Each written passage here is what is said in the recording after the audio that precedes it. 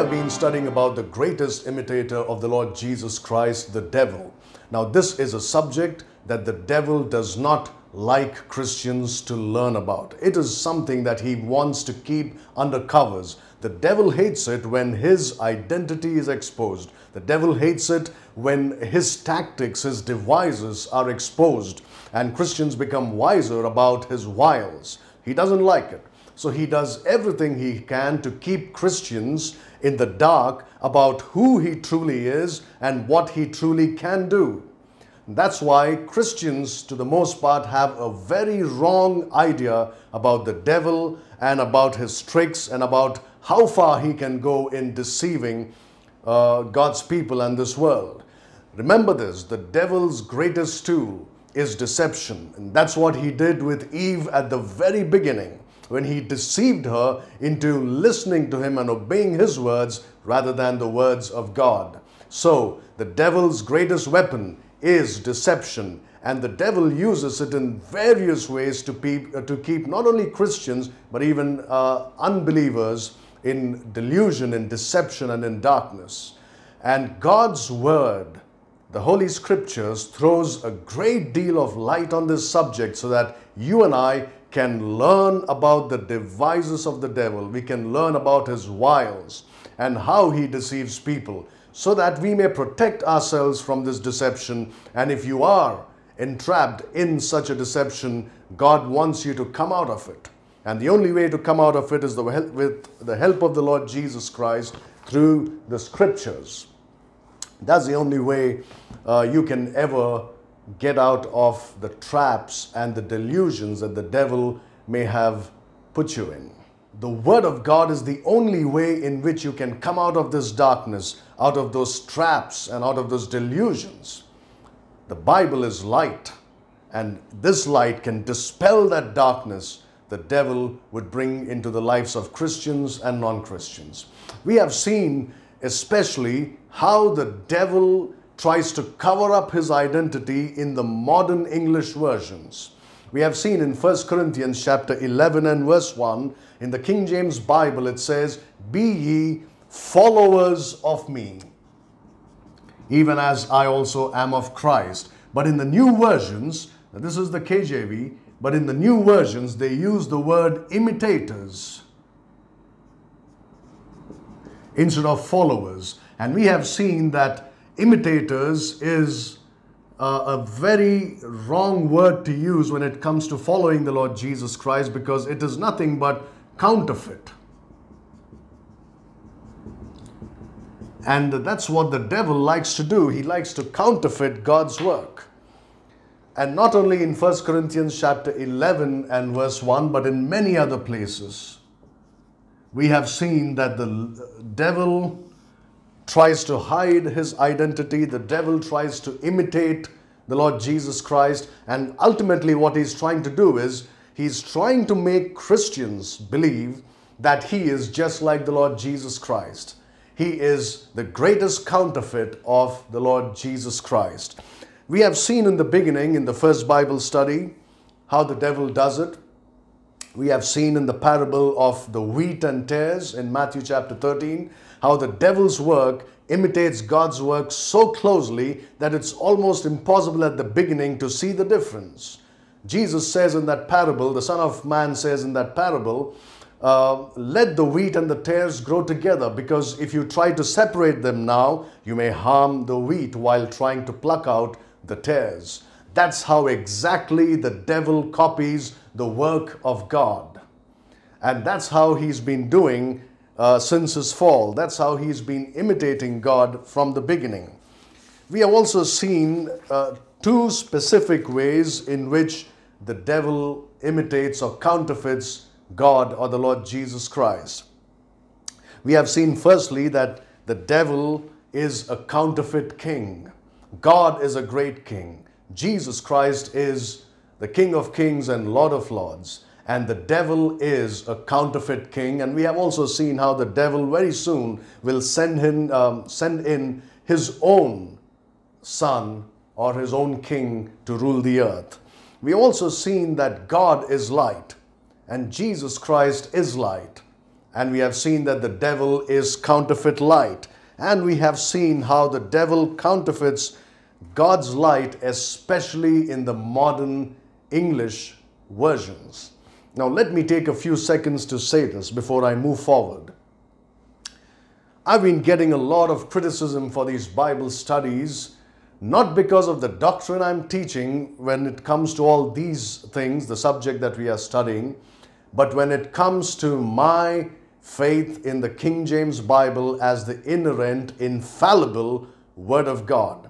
I believe that God has preserved all His words in the King James Bible. I also believe this that the King James Bible is an advanced revelation over the original Hebrew and Greek manuscripts, or the original Greek and Hebrew in which God had given uh, the scriptures at the beginning. They're saying all sorts of things. Some people say, I am teaching this that the King James Bible is the inspired word of God, that God's breath is upon it, because I'm ignorant of this subject of manuscript evidence.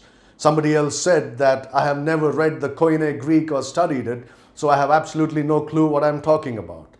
Somebody said uh, that I even am teaching this subject because I get money from overseas uh, by King James from King James Bible believers, and that's why I'm teaching this doctrine.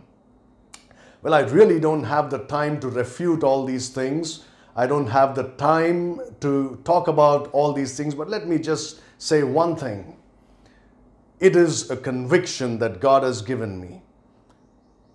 It was in 1999 and 2000, between 1999 and 2000, when I was a young Christian, that God opened my eyes to see that the King James Bible is the preserved words of God. All right? I don't care what you think. I don't care what you think my motive is. Really doesn't matter. I believe this book, I preach it, and I teach it. That's it. So you can go ahead and call me what you like. You can, this is nothing new to King James Bible believers. All right? well, since we have begun making these videos, now the criticism is coming from more places than usual, that's all. But there's nothing new. And uh, remember this, the difference between us and those people who don't believe the King James Bible is this. We are saying that God has given one book as the final authority for faith and conduct for the Christians in these last days. Just one book. But what they believe is that there is absolutely no Bible which is without any errors. That means they have no final authority. You ask them, Do you have a Bible? They'll say, Yes, I have a Bible. Do you believe the NIV that you're using is the perfect, infallible, inerrant Word of God? They'll have no answer for that. They'll say, No, it's got mistakes in it. Then you don't have a Bible. They say, We believe in the original autographs in the inspiration of the original autographs. But you see, there are no original autographs existing today. What we have are only copies, and that too, not uh, complete copies sometimes, and sometimes they are contradicting each other. So, did God lose his words? They cannot get themselves, uh, themselves to believe that God has the power to preserve his words in a translation. Why is it so difficult to believe that?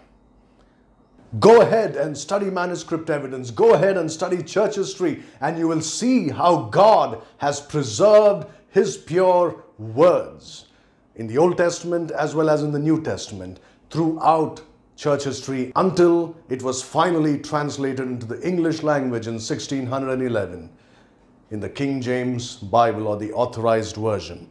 Well, that's all I have to say about this. I don't want to get uh, too deep into answering every criticism that is thrown my way because that's not the purpose why we are making these Bible studies. We are making these Bible studies to build up Christians in this book, not in some Hebrew or Greek scriptures, not uh, in some lost manuscripts. We are trying to build up Christians in this King James Bible and the truth and the doctrine that it teaches to us. We are trying to help Christians see more light in this book and help them to study that book by themselves, not depending on Greek and Hebrew scholars. You don't need that. You, if you read the Bible in the English, you can read it in the King James Version, and God will show you much more than all these Greek and Hebrew scholars can ever learn by trusting their own scholarship.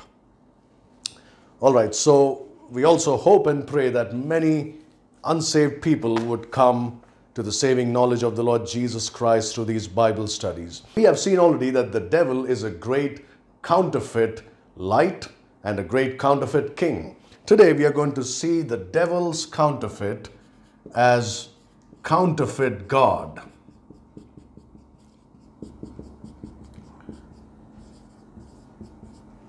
As counterfeit God. Please turn in your Bibles to 1 Timothy chapter 3 and verse 16. 1 Timothy 3:16. And without controversy, great is the mystery of godliness. God was manifest in the flesh, justified in the spirit, seen of angels, preached unto the Gentiles, believed on in the world, received up into glory. In the King James Bible, it says, God was manifest in the flesh talking about the deity of the Lord Jesus Christ. Whereas in the new versions, in many of them, the word God has been substituted by He. So this is how it would read in the new versions. And without controversy, great is the mystery of godliness. He was manifest in the flesh. What does it mean? Who was manifest in the flesh?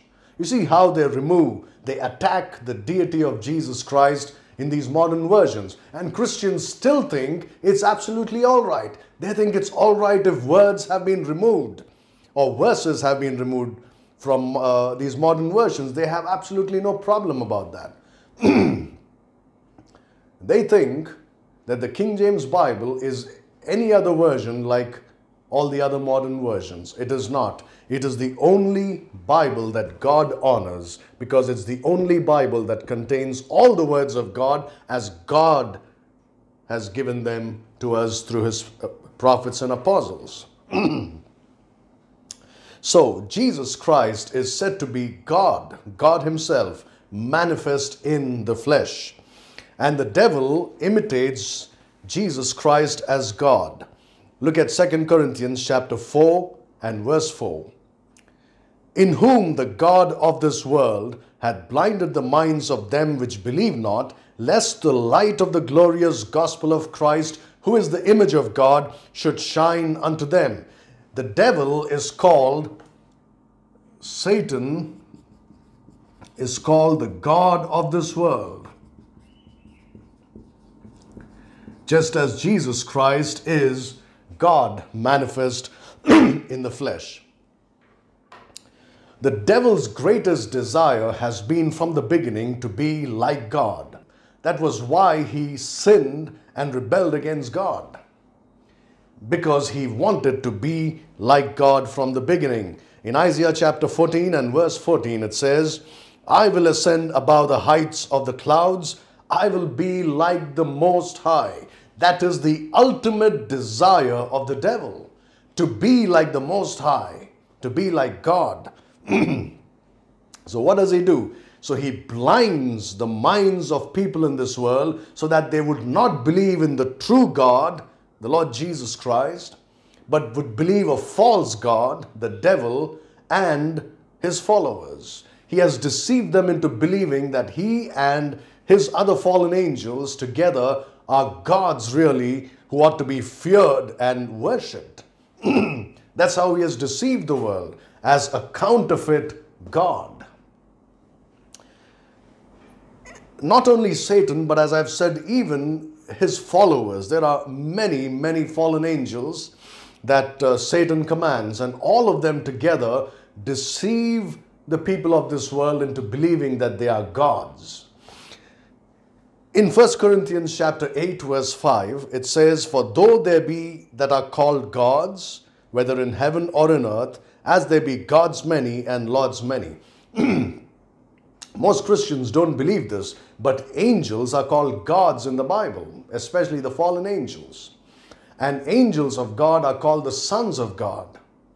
And many Christians don't believe this. They think uh, the only gods in this world are the idols that the people of this world worship. That's not true. There are some living gods in this world, and we will look at who they are in a minute. Now, in 1 Corinthians 8 5, Paul makes it very clear For though they be that are called gods, Where are these gods? Whether in heaven or in earth. You see that? Idols cannot be in heaven, but fallen angels can be in the second heaven. So Paul is referring to these fallen angels and not to idols. Uh, fallen angels are called gods, and these gods are behind the idols that people worship in this world. Look at what it says in Deuteronomy 32, verse 17. They sacrificed unto devils, not to God, to gods whom they knew not, to new gods that newly came up, that came newly up, whom your fathers feared not. That makes it very clear. There are beings called gods, and these gods are devils, and that's as plain uh, as it can get. Uh, there are devils, and these devils are gods. Actually, these are gods with a small g. These are gods, and those devils are gods, and they are worshipped by people, and these are they which are behind uh, these idols. Look at what Paul says again in 1 Corinthians chapter 10 and verse 20. But I say that the things which the Gentiles sacrifice, they sacrifice to devils and not to God. And I would not that ye should have fellowship with devils. When the Gentiles sacrifice to their idols, they are actually sacrificing to devils. Do you see that? Behind every idol is a devil, and that devil is the God who is being worshipped by the people who sacrifice to that idol or worship that idol. So there are gods, and these gods are not dead idols. These gods are living beings. What is the origin of these gods? Does the Bible have something to say about these gods? Well, it does. The Bible has a lot to say about these gods, and we will look at a few things for us to get a clear understanding as to who these gods are who counterfeit the one true living God. Look at Genesis chapter 3 and verse 5. For God doth know that in the day ye eat thereof, then your eyes shall be opened, and ye shall be as gods, knowing good and evil. Now, again, in the new versions, and uh, in most commentaries that you read on the Bible, you will see that they say the King James Bible is wrong. It should not be God's plural, but it should be God singular.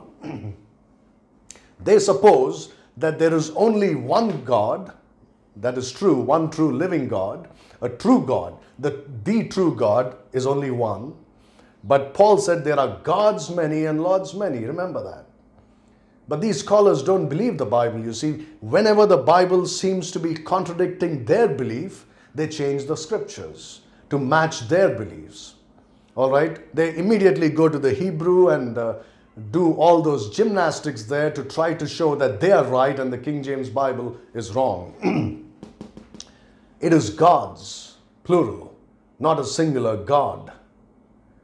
And these gods are fallen angelic beings which were there on the earth, and Adam and Eve could see them just as they could see Lucifer or Satan as he came to them in the form of a serpent. They could see those fallen angels, they knew these are the sons of God. All right? And that's what the devil promised Adam and Eve. He said, You will be like them in knowledge, knowing good and evil. In other words, the devil offered them a free education just like these Bible scholars, they study and study and study and become Bible critics and Bible rejectors and ultimately trust their own intellect and their own uh, scholarship than trust God. And that's what the devil offered to Adam and Eve in the beginning. He said, The moment you eat this fruit, he said to Eve, your eyes will be opened and you will be as gods, knowing good and evil. A false promise, but the, uh, but Eve was deceived by that false promise. All right, so once again, the gods are angels, and uh, the devil said to Eve, You will be like the angels. Look at the knowledge they possess, and you will get the same knowledge as them if you eat this fruit of the knowledge of good and evil. And Eve took the bait, and you know what happened after that. In Psalm 82, verses 1, 6, and 7, I'll be reading verses 1, 6, and 7 uh, in Psalm 82. It says, a psalm of Asaph God standeth in the congregation of the mighty, he judgeth among the gods. I have said, Ye are gods, and all of you are children of the Most High, but ye shall die like men and fall like one of the princes. What is this talking about? It says, He judgeth among the gods. What does it mean? Is he judging among idols? Is that what God is doing? No, he's judging these gods, these fallen angels who pretend to be gods and who uh, are worshipped by the people of this world uh, as uh, you know they are ignorant that they are actually worshipping devils. Not only that, it says here, I have said ye are gods. Of course, the Lord Jesus Christ applies verse 6 to the Jews, but that is a spiritual application. All right? That's a spiritual application. The context is verse 1. God standeth in the congregation of the mighty, he judgeth among the gods. He's not judging the Jews, he's judging the gods. That's the context, verse 1. Then verse 6 I have said ye are gods, and all of you are children of the Most High. But look at this last part in verse 7 But ye shall die like men. You are gods, but you will die like men. That's what God said to these gods. What is this passage talking about? Did you ever think about it?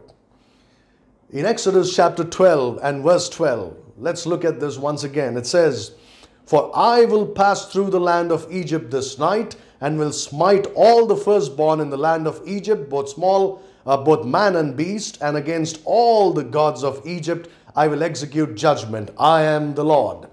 What is God saying? Is he saying he's going to judge all the idols of Egypt? Is that what God doing? Judging dead inanimate things? No. He is ju- he's going to judge the gods of Egypt, that is, the devils behind the idols that the people worshipped.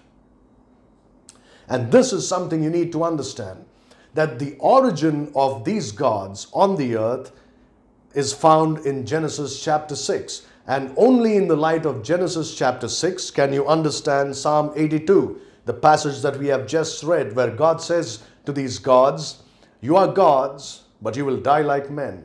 Look at Exodus chapter 15 and verse 11. Who is like unto thee, O Lord, among the gods? Who is like thee, glorious in holiness, fearful in praises, doing wonders? Who is like unto thee, O Lord, among the gods? Is God being compared to inanimate idols? I don't think so. There are gods many, and God is the greatest. Who is like unto thee among the gods? There is none like him among the gods. So, what I'm trying to say here is that gods in the Bible are not necessarily idols all the time. There are times in the Bible when gods are addressed, and these gods are devils or fallen angels. Look at uh, Exodus chapter 22 and verse 28. Thou shalt not revile the gods, nor curse the ruler of thy people. Thou shalt not revile the gods. Is God saying you shall, you, that you should not revile those idols? Is that what he's saying? No, he's talking about the gods behind those idols. And you need to understand this that these gods imitate the one true living God. They are counterfeit gods and they lead the people who worship them into eternal damnation. Psalm 82, once again, let me say this, cannot be understood except in the light of Genesis chapter 6. He is talking about fallen angels. He is talking about the angels who came to the earth in the days of Noah and cohabited with the daughters of men. Look at Genesis chapter 6. We'll read verses 1, 2, and 4. Genesis 6, 1, 2, and 4. And it came to pass when men began to multiply upon the face of the earth, and daughters were born unto them, that the sons of God saw that the daughters of men that they were fair, and they took them wives of all which they chose.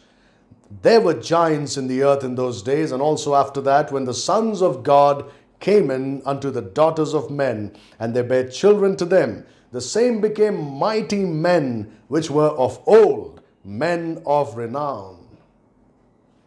This is where it all began in Genesis chapter 6, in the days of Noah.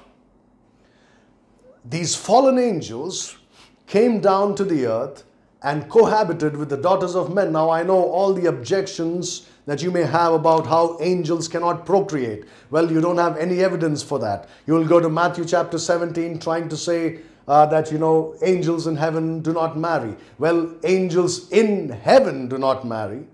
And uh, it does not say that they do not have the power to procreate. These angels in Genesis 6 are not angels in heaven. They are fallen angels who have left their first estate, Jude verse 6, and they have come down to the earth. And here, uh, we will not get into the technicalities of it, but they would have procured the ability to procreate. All right, with the great wisdom and knowledge that God had made them with they would have somehow made it possible for them to get blood inside their bodies and then they would uh, procreate. And that's why God said to them, You are gods, but you will die like men in the flood of Noah.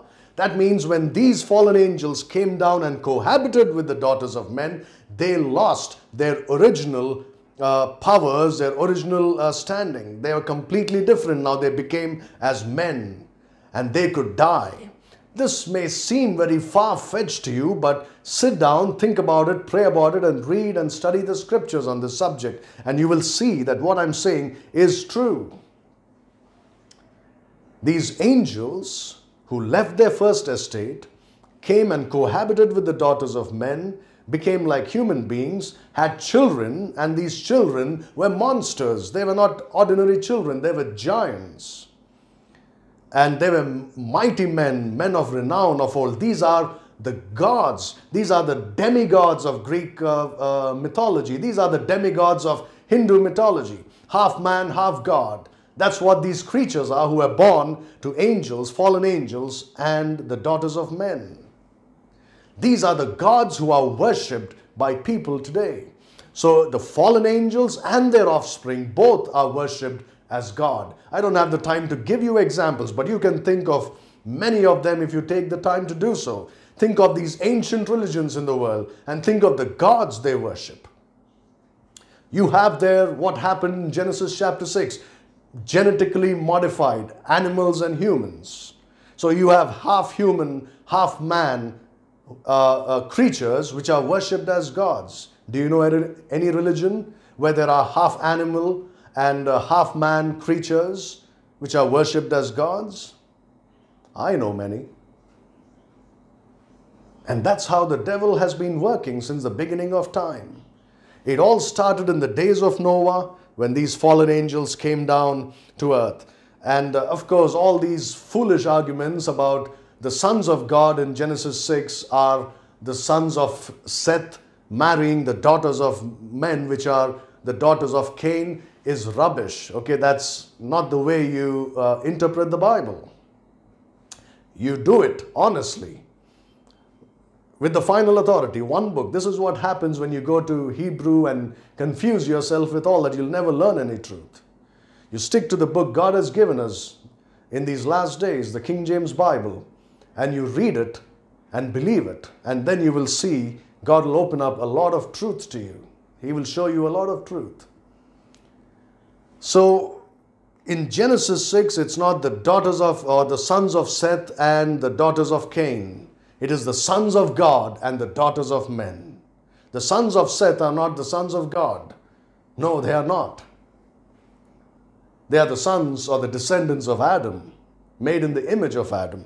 Look at Job chapter 1 and verse 6 to understand who these sons of God are. Job chapter 1, verse 6. Now there was a day when the sons of God came to present themselves before the Lord, and Satan came also among them. Let Scripture interpret Scripture. Sons of God here are not the, the, the sons of Seth. Are you saying that the sons of Seth appeared before God one day? It's very clear it's angels. The sons of God came to present themselves before the Lord, and Satan came also among them. And a couple of other times in the book of Job, you see that the sons of God is a reference to angels. And in Genesis 6, the sons of God are fallen angels. And they cohabited with men. These fallen angels and the giant children that were born to them are the gods of every religion today, and all their idols that they make and they worship uh, are the idols or the gods that they worship before the flood. You know, this is how it uh, happened. The gods came down in the days of Noah and they were worshipped as God. Their offspring were worshipped as gods. And then God wiped out that generation because they, all flesh was corrupt. They were genetically corrupt, except the family of Noah. So God destroyed the entire earth and all its population with a flood. But after the flood, in the days of Nimrod and Semiramis' wife, they once again started worshipping the gods of old. And those devils were worshipped as gods, and uh, they made images of uh, these gods and started worshipping the images. And when they did that, they were actually worshipping the gods or the devils behind those idols. This is how it all began. First, Nimrod and his wife are the ones who would have started this idol worship, but these idols are the idols of gods who lived in the days of Noah. They are fallen angels and their offspring. So the devil and his angels have deceived the world into believing that they are gods and they should be worshipped. Also, the Bible translators, don't forget these fellows now. These Bibles translators of the new versions help the devil every single time and try to cover up his identity so that people will not realize that they are falling into the trap of the devil. Be careful, Christians. These modern English Bible versions lead you straight to a trap, straight into a trap. And they will lead you into false doctrine, they will lead you into uh, backsliding, and finally apostasy. That's what it's going to do to you. Already, the lukewarmness that we have is a direct result of the new versions. And there is not a single church or a single Christian who does not get affected with this lukewarmness. But if you take the path of the New English versions, the end would be total apostasy, as we see among most of Christianity today in these last days. So, the origin of these gods, understand that it's Genesis chapter 6. Now, we look further and see that the devil desires worship just as God desires worship. Now, it's true that God desires to be worshipped, and God's desire to be worshipped is a legitimate desire. God is worthy of worship, and even when God desires to be worshipped, there is nothing wrong because God is just being honest. He is who He is, and therefore He should be worshipped. God desires worship. Look at John chapter 4, the Gospel of John chapter 4 and verse 23. But the hour cometh, and now is, when the true worshippers shall worship the Father in spirit and in truth. For the Father seeketh such to worship Him.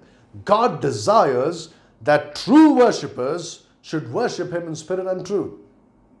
It's a legitimate desire that God has to be worshipped. But look at this. Look at Luke chapter 4, and we'll read verses 5 to 7. Luke chapter 4, verses 5 through 7. And the devil, taking him up into an high mountain, showed unto him all the kingdoms of the world in a moment of time. And the devil said unto him, All this power will I give thee, and the glory of them, for that is delivered unto me, and to whomsoever I will I give it. Look at verse 7. If thou therefore will worship me, all shall be thine. You see how the devil desires to be worshipped, not just by people, but the devil desires to be worshipped by the Son of God in the flesh himself. That's the extent of desire that the devil has to be worshipped as God.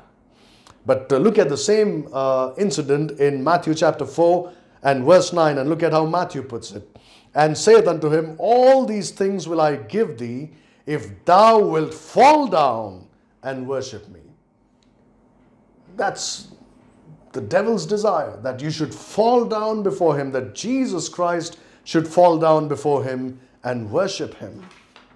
Isn't that something? The devil is a God, he's the God of the world, and his fallen angels are the gods who are worshipped in this world. All the while they have been worshipped as gods. But you know, there's something very interesting, and it is this that these gods are going to return very soon. Look at Luke chapter 17, the Gospel of Luke chapter 17, and we'll read verses 26 to 30. Gospel of Luke chapter 16 chapter 17 verses 26 to 30. And as it was in the days of Noe, so shall it be also in the days of the Son of Man. They did eat, they drank, they married wives, they were given in marriage until the day that Noe entered into the ark, and the flood came and destroyed them all. Likewise, also as it was in the days of Lot, they did eat, they drank, they bought, they sold, they planted, they builded.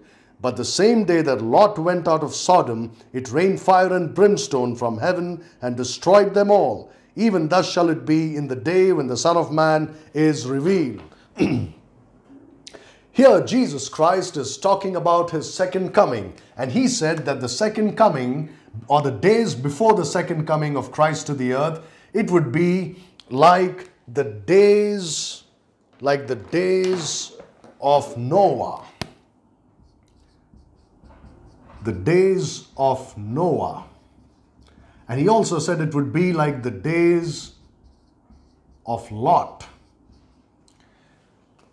We have already seen that the days of Noah are characterized by the coming of the sons of God to the earth and cohabiting with the daughters of men. So, once again, the gods are coming back. That's what the days of Noah is all about. Not just about eating and drinking, but this was a major thing. The reason why God destroyed the earth with a flood because was because of the gods and uh, what they did with mankind. They corrupted all flesh. It was a genetic corruption of flesh. So that people were no longer normal human beings. The whole of human race and even the animals for that matter were mongrelized completely. It became a mongrel race. It was no longer a human race which could be redeemed. And that's what the Antichrist would be doing in the tribulation with his mark of the beast. He would seek to mongrelize the human race so that they become transhuman, more than human. They become above humans, so that their souls cannot be redeemed anymore. And uh, a very interesting study was done on uh, this genetic engineering that these scientists are engaged in today. And a very uh, leading scientist on this subject said these words. She said, if a human being is genetically modified 1%, that's all it takes for him to cease to be a human being. That's very, very interesting and very scary at the same time. When the Antichrist comes with his mark, with that chip or whatever other technology they may have in those days, uh, and when that mark is taken in the forehead or in the hand, that person is genetically modified. And 1% of that is enough to stop him from being a normal human being and make him beyond redemption. That's why uh, in the book of Revelation, it says, If anyone takes the mark of the beast, they will be cast into the lake of fire. They cannot be redeemed. And that's very, very scary to think about that so many millions of people in the world in the tribulation would actually take this mark of the beast and they can never be saved again. They will go to hell. That's why we need to do as Christians all that we can to snatch them out of the fires of hell now while the time is still there before the tribulation begins.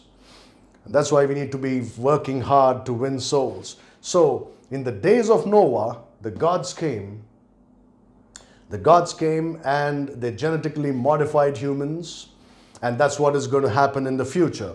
Now, again, in the days of Lot, Jesus said that the days of the second coming would be like the days of Lot. What happened in the days of Lot?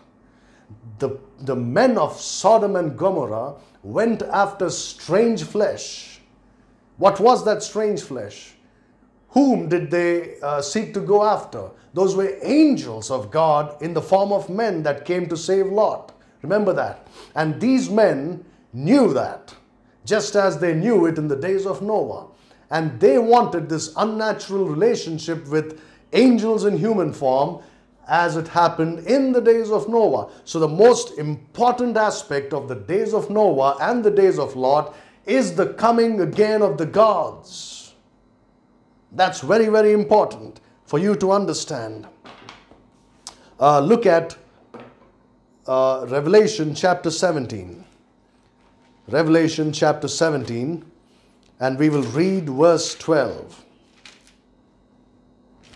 Revelation 17, verse 12 says, And the ten horns which thou sawest are ten kings, which have received no kingdom as yet, but receive power as kings, one hour with the beast. So you have here ten horns, which are ten kings. And if you read the rest of the chapter, you will see that these are not ordinary kings. These are 10 kings who will be ruling the whole world, and these 10 kings will be given power to rule for one hour, and in that one hour, they would appoint the Antichrist as the ruler of the world. They give all their power and authority to the Antichrist. These are some special kind of kings. These are not ordinary human beings. How can I say that? Look at Daniel chapter 2 Daniel chapter 2, verses 42 and 43. Daniel 2, 42 and 43. And as the toes of the feet were part of iron and part of clay, so the kingdom shall be partly strong and partly broken. All right, so that's the first thing you need to understand. Here he's looking at that great colossus uh, in Nebuchadnezzar's dream and he's describing it and he's interpreting the meaning of that colossus. And he's talking about the feet now and he says, the toes of the feet were part iron and part clay. So the kingdom shall be partly strong and partly broken. That's one part of the interpretation. Now look at verse 43. And whereas thou sawest iron mixed with miry clay, this is the second interpretation. They shall mingle themselves with the seed of men, but they shall not cleave one to another, even as iron is not mixed with clay. Look at those, those words they shall mingle themselves with the seed of men. The clay here is a reference to human beings, like Adam was made out of clay. And the iron is to do with the fallen angels. There is here a mixture of the fallen angels and human beings once again as it was in the days of Noah. And Daniel here is interpreting the meaning of the ten toes. So these ten horns and the ten toes of Daniel are one and the same. And these ten toes are a mixture of iron and clay. They could be once again like the giants who were born when the sons of God came into the daughters of men. So these are not ordinary kings. These will be demigods once again upon the earth, ruling the earth, and above them will be the Antichrist, the son of the devil. Look at it, it all falls into place. So many things in the scripture that were a bit difficult to understand before would become clear when you compare scripture with scripture and rightly divide the word of truth. So, what I'm trying to say is that the origin of these gods who imitate the Lord Jesus Christ is Genesis chapter 6. And throughout the history of the earth, they have been worshipped as idols, but behind the idols are these devils. But the most important thing is that they are coming back. It'll be like the days of Noah and the days of Lot. In both these times, it, uh, you know, the most important thing are the role of the gods. They saw, even in the days of Lot, they saw the angels and they said, The gods have come. And uh, because they knew what happened in the days of Noah when the gods came, they said, Let's do it all over again. And God destroyed Sodom and Gomorrah completely.